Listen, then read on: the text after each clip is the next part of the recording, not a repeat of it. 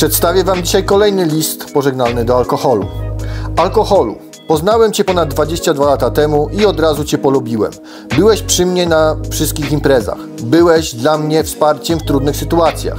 Sprawiłeś, że czułem się bardziej wesoły, odważny, koleżeński, radosny. Było mi z Tobą dobrze.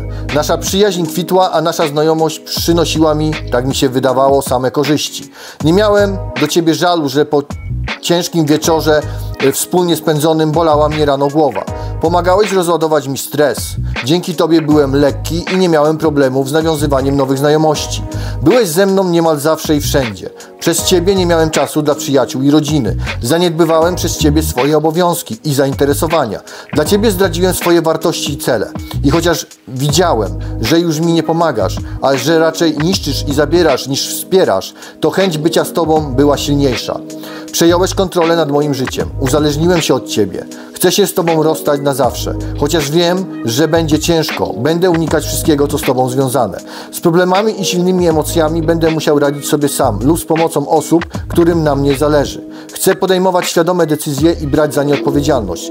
Pragnę podziękować terapeutom oraz grupie, którzy wspierali mnie w ciężkich chwilach na terapii. Chcę żyć normalnie, jak dawniej, a wiem już o alkoholu, że nie jest mi do niczego potrzebny. Żegnam się z Tobą alkoholu na zawsze. Pozdrawiam wszystkich serdecznie. Ośrodek nasz Zapał.